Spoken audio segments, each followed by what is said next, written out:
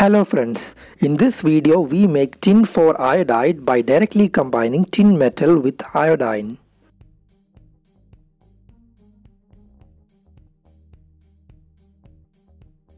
Tin 4 iodide, also called stannic iodide, is a covalent compound which crystallizes as tetrahedral molecule. It is insoluble in water but readily soluble in non-polar solvents like benzene, carbon disulfide and dichloromethane.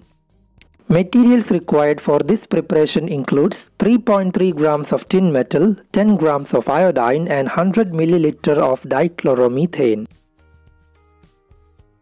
Start by fixing a small 100 ml round bottom flask on a stand and then transfer the already pre-weighed 3.3 grams of tin metal powder into it. You can also use metallic granules of tin but since the surface area is low it would take more time for it to react with iodine.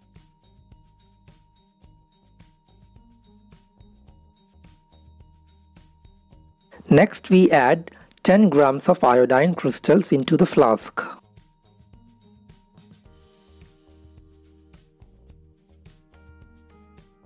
Now add 100 milliliters of dichloromethane. Dichloromethane will act as the solvent for iodine and also for the tin 4 iodide formed. Other nonpolar solvents like carbon disulfide and carbon tetrachloride are much more efficient in dissolving them and we only need a very less volume of these compounds as solvent.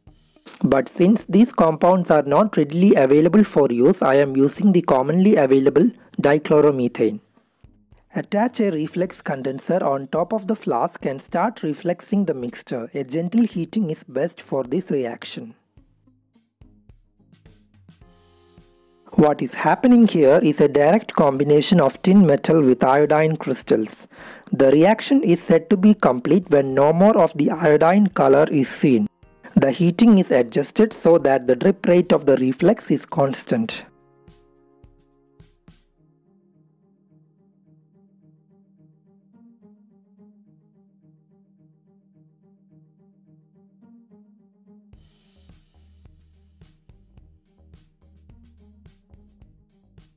The solution finally acquires a yellow-orange color indicating the end of the reaction.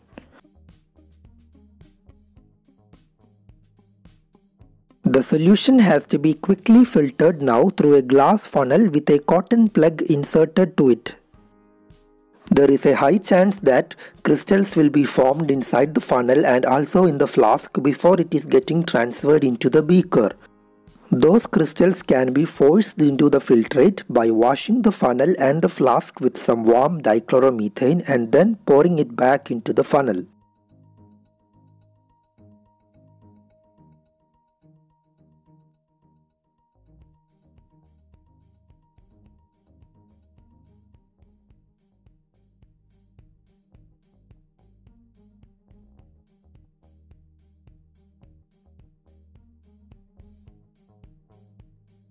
Once everything is in the beaker, we need the maximum crystals, so we concentrate the solution by distilling away some of the solvent. Ideally, a proper distillation has to be carried out with a condenser, but since I am lazy, I am doing a simple short path distillation here, which will also work.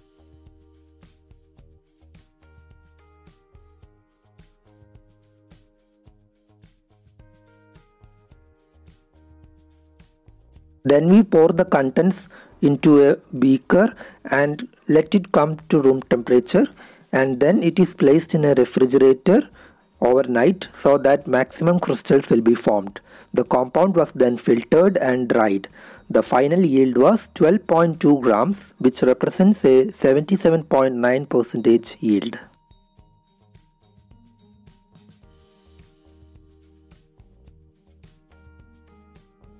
I would like to take this opportunity to thank my Patreon supporters who have financially supported me so that I could get the materials required for doing all these experiments. Thank you so much for watching this video. If you loved the contents of this video, do hit the subscribe button and the bell button for notifications. You can also join my Discord server. I will put a link to that in the description.